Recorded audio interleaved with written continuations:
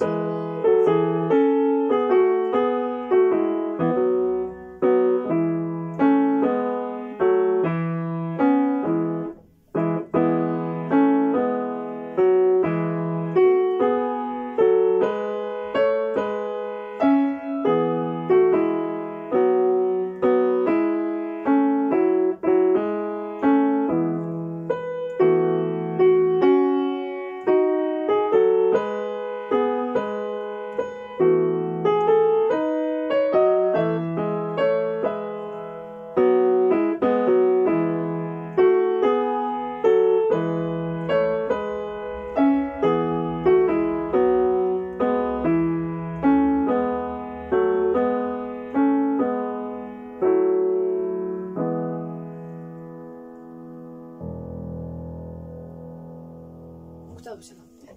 はい。というわけで、年老いた乳母の子守歌でした。